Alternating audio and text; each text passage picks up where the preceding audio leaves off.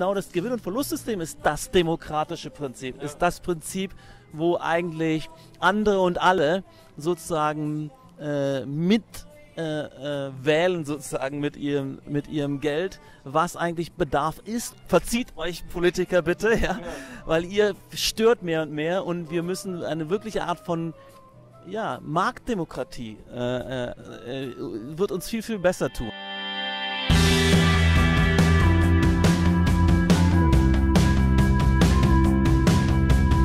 Moin Moin und herzlich willkommen zu einer neuen Folge von Große Freiheit TV. Ich habe hier heute Patrick Schumacher neben sitzen und Patrick Schumacher ist ein Architekt für ein großes Architektenbüro, äh, Zaha Hadid Architects.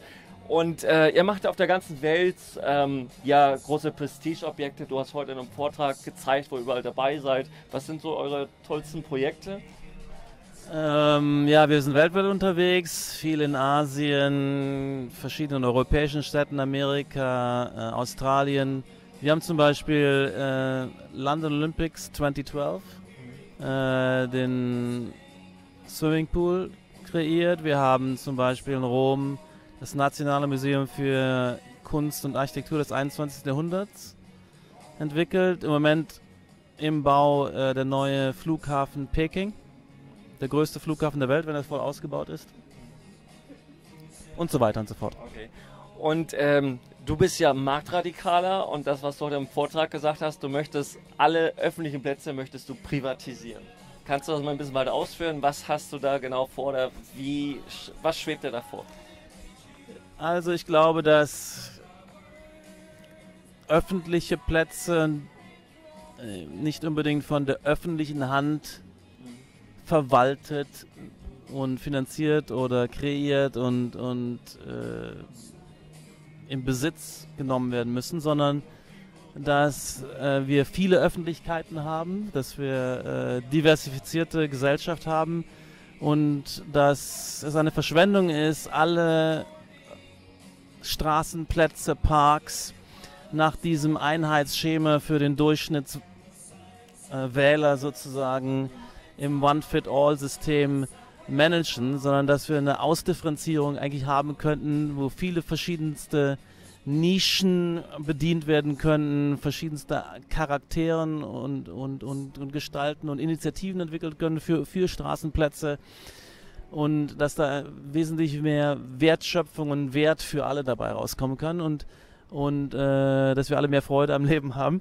Äh, und, und dass wir zum Beispiel äh, Plätze haben, wo mehr reguliert wird und mehr äh, sozusagen Sicherheit geboten wird und da, wo mehr, mehr Freiheiten geboten werden und nicht alles sozusagen für äh, ein, so ein einheitslahmer, langweiliger, unstimulierender und verschwendeter Einheitspreis, wo auch wenig äh, passiert eigentlich in diesen Plätzen, die, die, die einfach da vor sich hin vegetieren. Ja.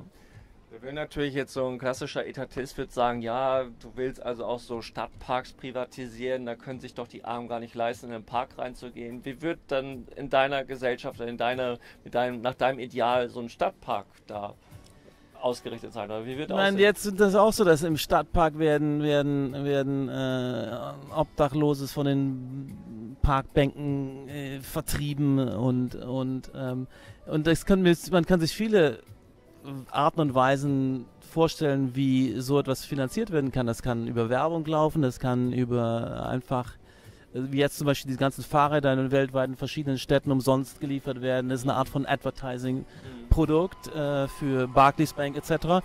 Also es muss gar nicht heißen, dass man da jetzt bezahlen muss.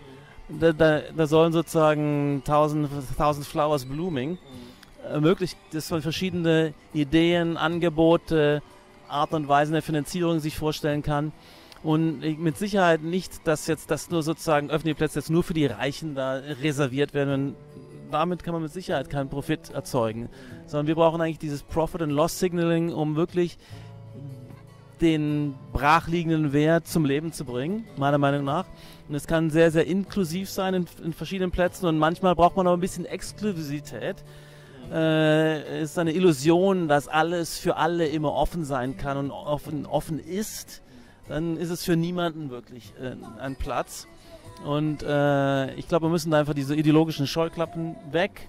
Das und es immer, äh, ja. diese und ich und das fällt dem und, am und, und die Diskussion ist, ist, es gibt ja jetzt schon viele private ähm, Plätze, äh, Straßen, äh, Squares, Parks. Zum Beispiel in Europa In, in, in irgendwelche England viel? Paternoster Square, in London verschiedene.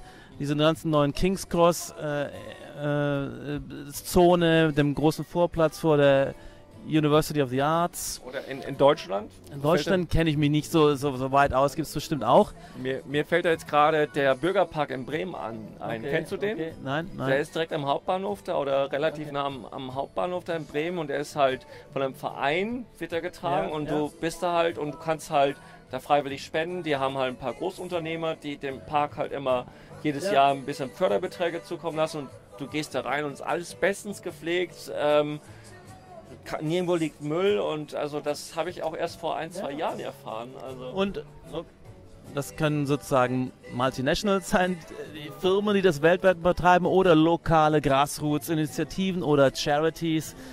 Da, all das ist sozusagen möglich und, und, und kann man sich vorstellen und führt nur zu einer Diversifizierung des Angebots. Und, und dafür macht uns alle reicher, meiner Meinung nach. Und es ist nicht, um, um, um, Leute da auszuschließen oder jetzt da äh, sozusagen äh, ähm, ja, diese Befürchtung halte ich nicht für, für, für glaubhaft. Und äh, dieses, äh, wir sollten auch ein bisschen mehr Freiheit riskieren. Äh, nicht, äh, ich finde es schlimmer eigentlich in der Demokratie, dass man immer 50 Prozent fast der Bevölkerung implizit überzeugen muss, äh, bevor man irgendetwas Neues ausprobieren kann, machen kann. Und das ist eigentlich das Scha Schade. Und deshalb plädiere ich eigentlich für äh, mehr Freiheit, dass man individuelle Initiativen starten kann, dass man sein eigenes Geld eben riskiert, in sowas investiert. Wenn es nicht klappt, kommt ein anderer äh, zum Vorstellen, eine andere Idee zum Vorstellen. Es ist ein schnelles Ausprobieren, ein äh, der Marktprozess ist ja ein Entdeckungsprozess, eine Art von Forschungsprozess äh, über das, was Leute annehmen. Oft wissen wir gar nicht, was wir wollen. Wir haben ja oft sozusagen verborgt und, ver und verbohrt und ähm, es muss uns erstmal was vorgeführt werden, ein Angebot, dann merken wir, was wir eigentlich wollen. Und ich glaube auch an, ganz anderes. an ja? Marktführerschaft. Also ich, ich bin als Architekt auch so mehr auf der Avantgarde-Szene und wir, wir sind eigentlich, wir gehen, wir, wir versuchen nicht herauszufinden, was Leute äh, so fragen, was sie eigentlich schön finden und gut finden, sondern wir stellen uns vor, was könnte vielleicht eine Chance haben und für mich ist sozusagen ein Marktunternehmer auch jemand, der äh, führt anführt und provoziert und, und, und, und risikobereit neue Wege geht. Und das kann ich mir auch im öffentlichen Bereich vorstellen und vor allem aber auch, ich habe mich äh, gewehrt gegen diese Überstandardisierung und Regulierung nicht nur von öffentlichen Plätzen und Straßen, sondern von allen Gebäuden. Mhm. Vor allem im Wohnungsbau, aber auch in, in was wo gebaut werden darf, wo Geschäfte sein sollen, wo Büros sein sollen, wo Wohnen sein darf und kann und mit welchen Durchmischungen, welchen Einheiten und, und wie Wohnungen auszusehen im Allem, das ist völlig überstandardisiert.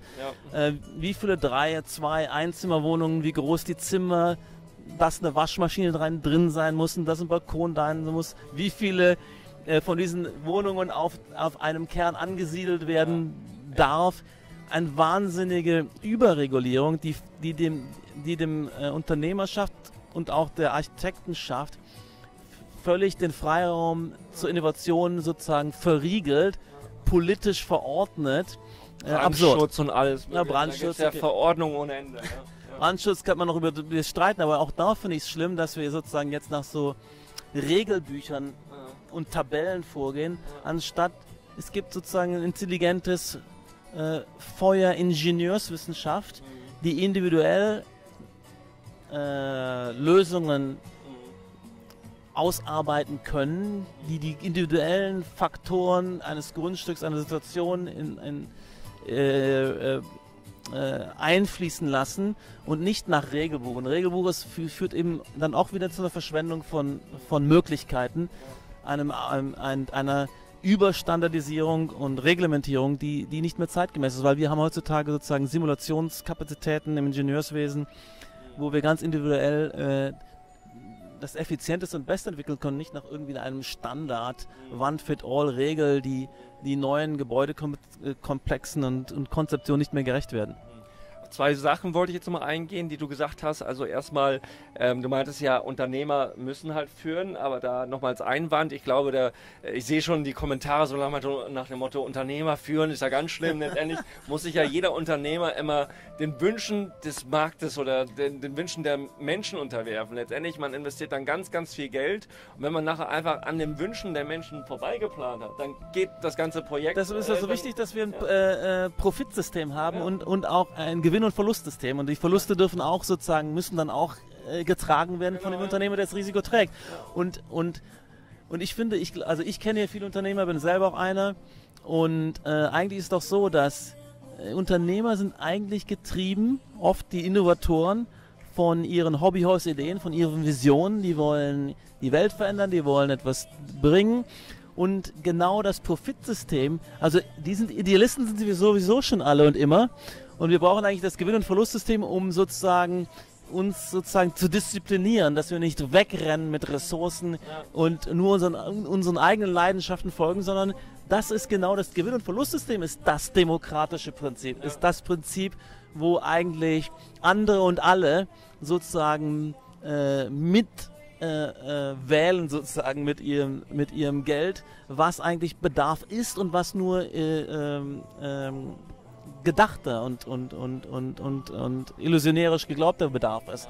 Und wenn man das vergleicht mit einem politischen Prozess, da wird eigentlich immer am Bedarf vorbei äh, gearbeitet, weil, weil der nicht wirklich greift.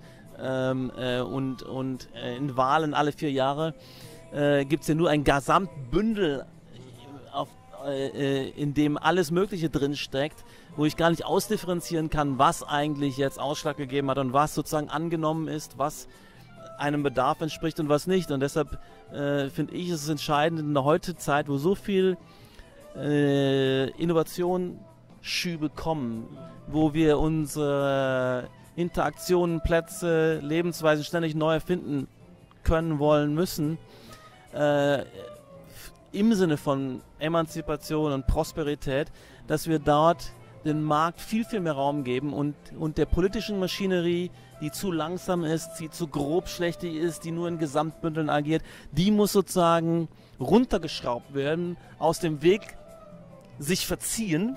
Verzieht euch Politiker bitte, ja, weil ihr stört mehr und mehr und wir müssen eine wirkliche Art von ja, Marktdemokratie äh, äh, äh wird uns viel, viel besser tun und viel, viel ähm, ähm, ähm demokratischer im Grunde.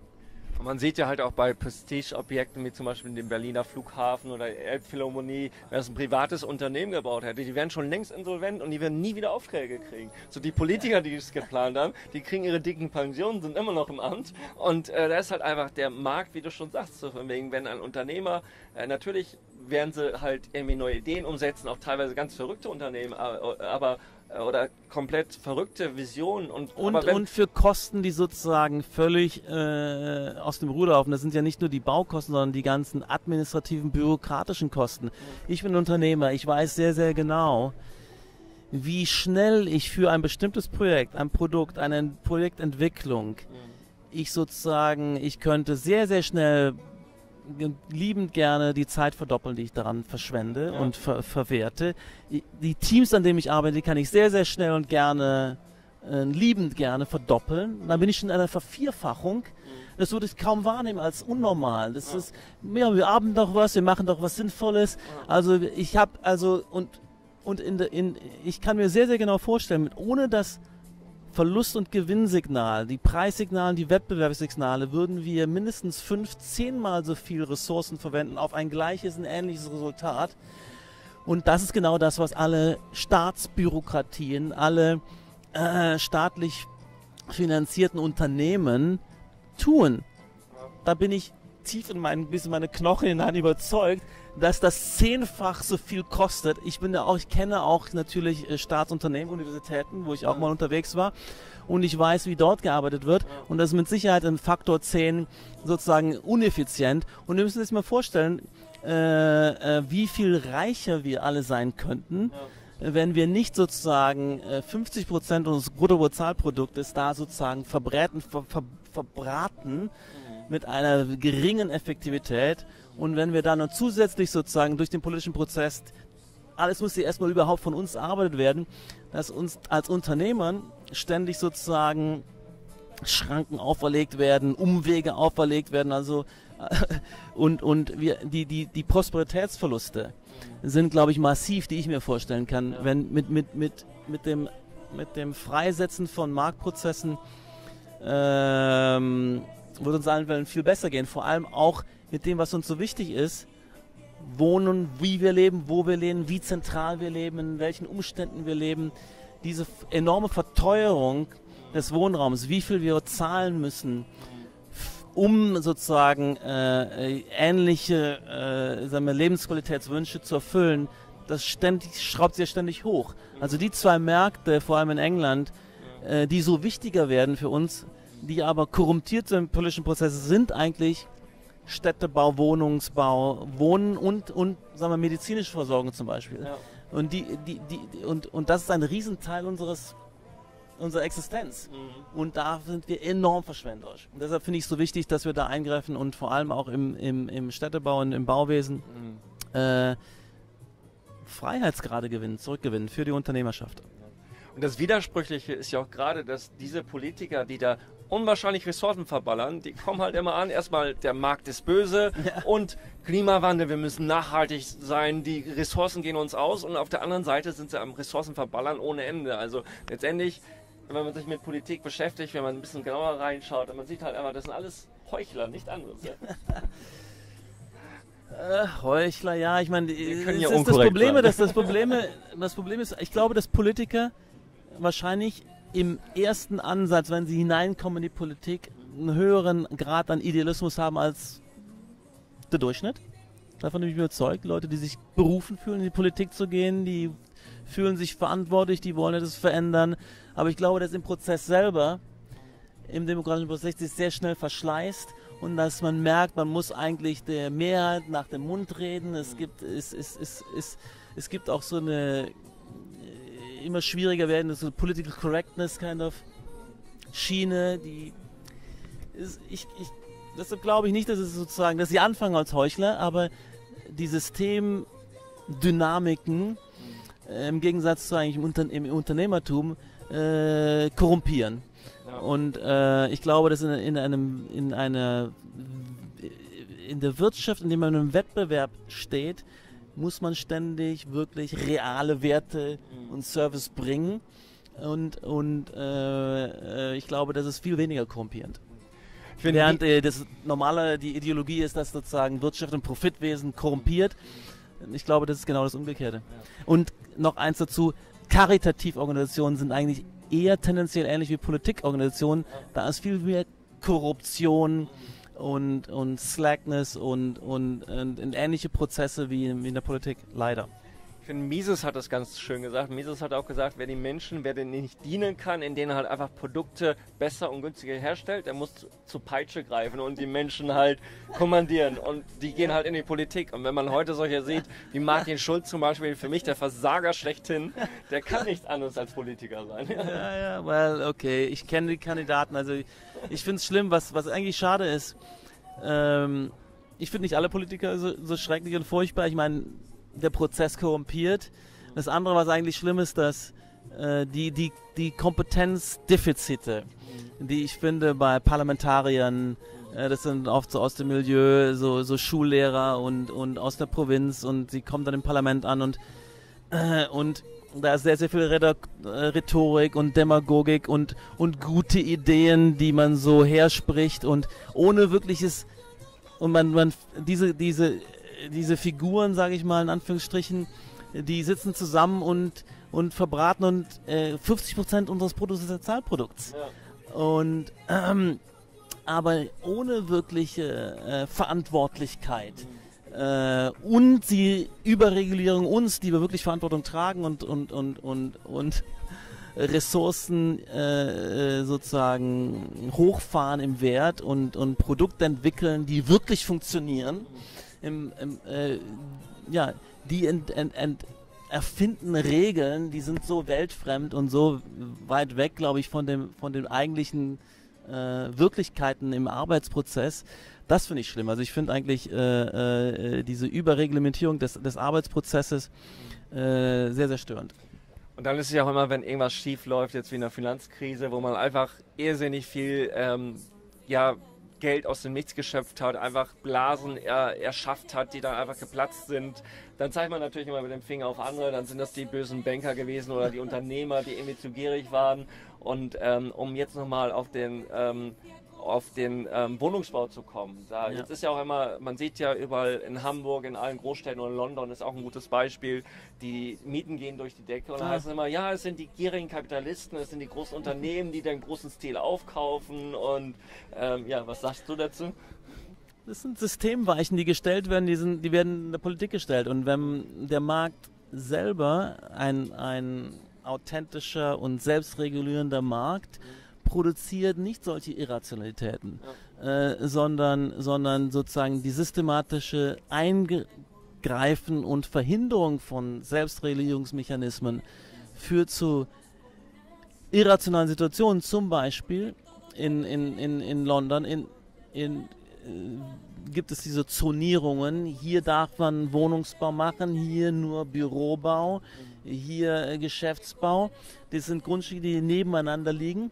Und die Wertdifferenzen von Grundstückspreisen, die mit gleicher Lokalisation gleich sein sollten im Markt, die verspringen, weil das eine Grundstück sozusagen belegt ist mit der Opportunität für Wohnungsbau und spezielle Funktionen des anderen nicht. Und dass der Markt das bis zu einer vierfachen Verzerrung bewertet, zeigt eben, wie irrational dann eben Grund und Boden als Ressource verschwendet wird. Ja. Wenn sozusagen dieses Grundstück, nur weil es mit einer falschen Regel belegt ist, nur ein Viertel wert ist, ja.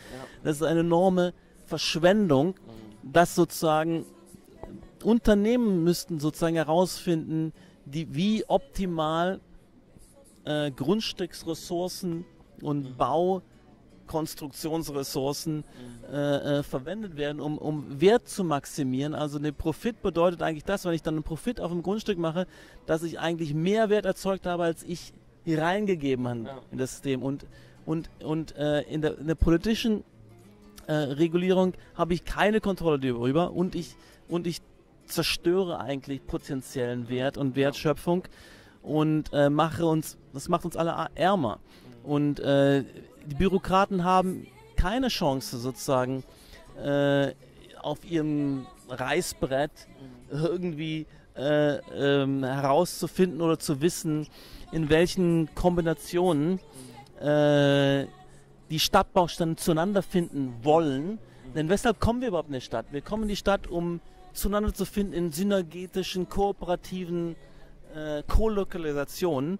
Und die muss man da muss man sich selber hineinsortieren können. Ja. Und dafür brauche ich die Freiheit, mich zu positionieren und, äh, und dass ich auch die relativen Kaufkräfte sich austarieren gegeneinander, dass die mit einer höheren Produktionsprozent mehr Chancen hat, sich besser zu positionieren, ist, ist ökonomische Rationalität, die für alle gut ist. Und jede Eingriff, die Planer, die sagen, wo was zu, zu, mit welchen Quantitäten zu passieren hat, es zerstört das Ganze. Der ganze Sinn zusammenzukommen wird sozusagen korrumpiert und der ganze städtische Produktionsprozess und Lebensprozess wird dadurch sozusagen ärmer und verhindert.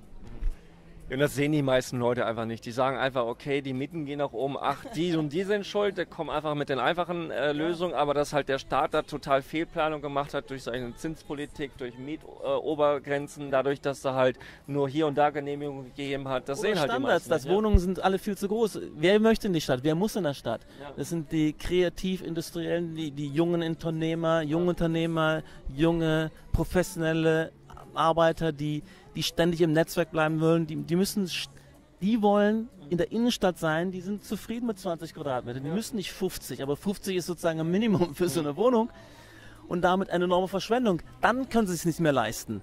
Äh, wenn wir das, den Markt laufen lassen würden, dann bräuchten wir auch gar nicht diese ganzen Subventionen. Mhm. Äh, Im Moment ist das System ja so in England, dass durch diese ganze Reglementierung wird die Substanz verringert, die angeboten wird. Es werden die falschen Angebote gemacht. Äh, dadurch verteuert sich alles. Die, die, die Teile werden in zu großen Stücken angeboten.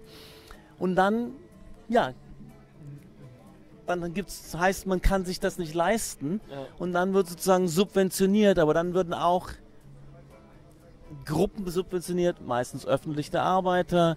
Äh, äh, das ist willkürlich Ja. ein Picking of Winners and Losers.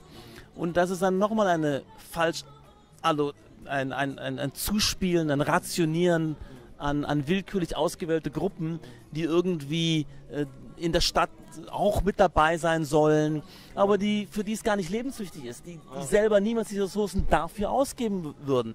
Also völlige Verschwendung von Ressourcen, ein völliges äh, Durcheinanderwürfeln von der Synergie, Texturen und Mixturen, die eigentlich produktiv sein sollten, ist ein wirklich ein ein, ein, ein very disruptive of the of the of the urban order.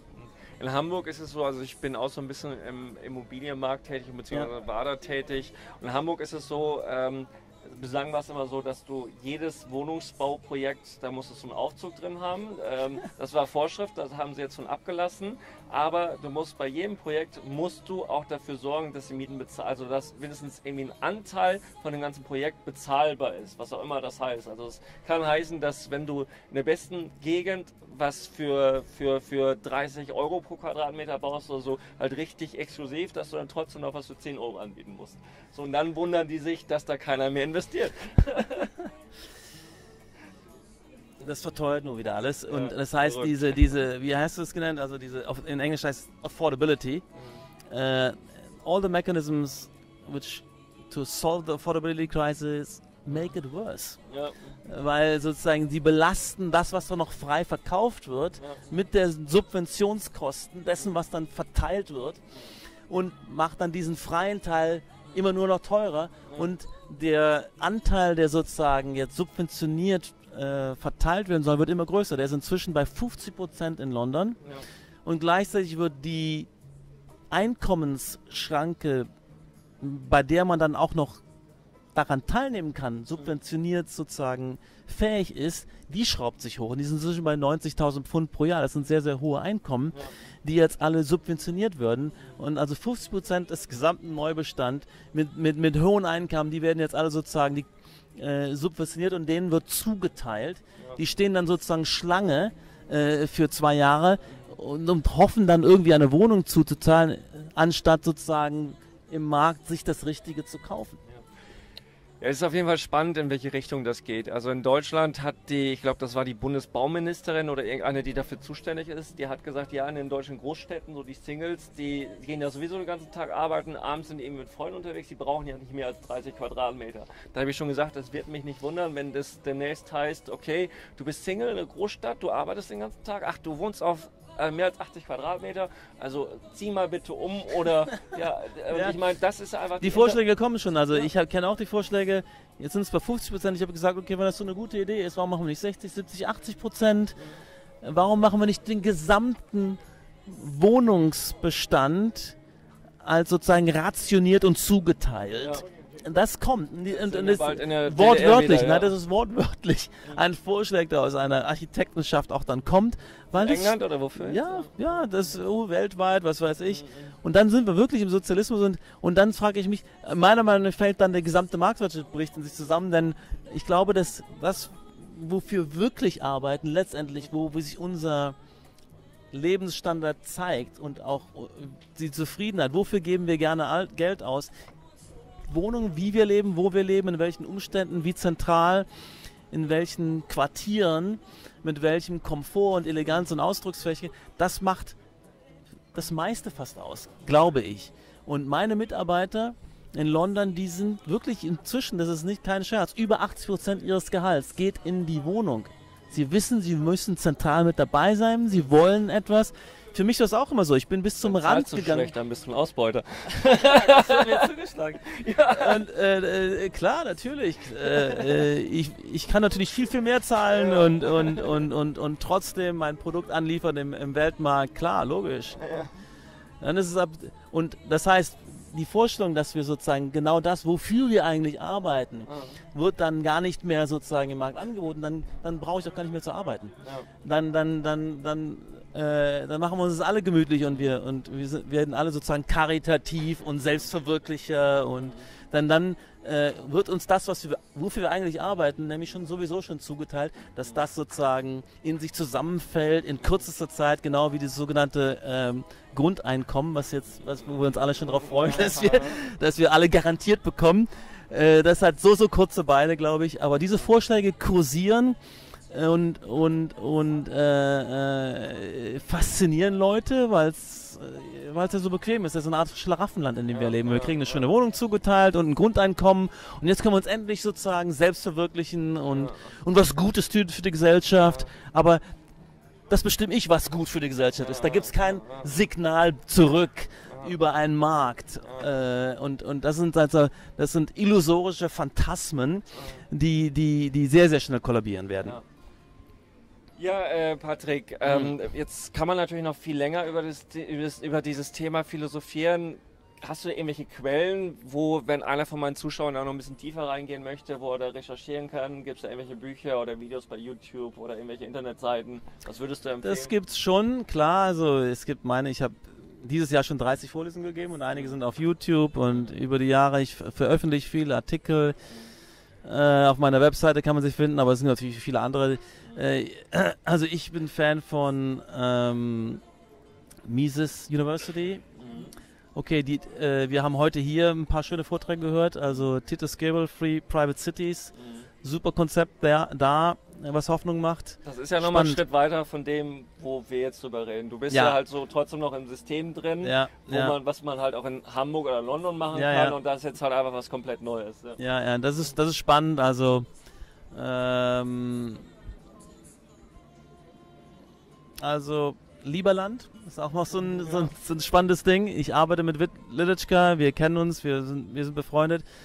Die Konferenzen, die er aufgesetzt hat, sind sehr, sehr spannend. Die Lieberland-Konferenzen, da habe ich auch gesprochen. Äh, Themen, okay, die Themen sind weiter ausgreifend. Das ist nicht mehr nur Architektur natürlich, das ist, das ist Politik. Aber ich finde eben Städtebau und äh, Stadtentwicklung hat sehr, sehr viel zu tun mit Gesellschaftsentwicklung. Die, die, die, gebaute Umwelt ist eigentlich sozusagen das Gerüst, das Skelett, die, die, die evolvierende Struktur, mhm. äh, die stabilisiert und, und, und, und sich entwickelt zusammen mit gesellschaftlichen Prozessen. Mhm. Und man sieht auch zu verschiedenen Stadien, verschiedenen Gesellschaftsstrukturen und Konzepten, die gebaute Umwelt sieht ganz anders aus. Ja. Ähm, sozialistische Verbandenstadt ist was anderes als sozusagen City of London, Cultural Hub, äh, Medien, Finance Hub. Äh, verschiedenen Perioden, Regionen, äh, Gesellschaften, die bilden sich immer wieder ganz anders aus. Und das ist für mich auch ein Thema, das abzulesen von der gebauten Umwelt. Äh, Morphologien, Strukturen, ähm, auch wie die entstehen und sich weiterentwickeln, das finde ich faszinierend. Und ich bin immer auf dem Trichter, das lässt sich nicht mehr planen. Die, die, die historische Periode des Städtebaus im Grunde ist einer zentralplanerischen äh, Entwicklung von Trabantenstädten, Newtowns, Brasilia, das war das 20. Jahrhundert. Das ist völlig undenkbar. Also, die, die, die, die Innovationsdynamiken, die, die Komplexität, äh, die Flexibilität, die so ein Prozess entwickeln muss, mhm. äh, das sind für mich sozusagen dezentrale äh, Intelligenz, Prozesse der Entwicklung, wo viele äh, Intelligenzen aufeinandergreifen, so ein, ein völlig bottom-up mhm. äh, Stadtentwicklungsprozess. Mhm. Daran glaube ich, und so sehen Städte auch heutzutage aus. Mhm. Äh, diese, diese, diese Planungsschiene ist tot. Es gibt natürlich Planer, die versuchen, mhm. einzugreifen, aber wenn ich so eine Stadt wie London anschieße, weißt du, das ist, davon ist nicht sehr viel mehr geplant. Ja. Das sind Dynamiken, die sich, die, die, die, die sich breit machen und äh, wir, ich finde das spannend. Ja. Und ich, das, das hat eine enorme Rationalität, dieser Selbstorganisationsprozess. Aber als Architekten, wir begleiten das mit einem Diskurs und haben Konzepte, wie wir da auch wieder Lesbarkeit und, und Ordnung hineinbringen wollen. Aber das ist ein anderer mhm. Podcast vielleicht ja. fürs nächste Mal. Ja, okay, super. Vielen Dank für das Interview, Patrick. Danke, danke. Und Ciao, bis zum nächsten Mal. Ciao.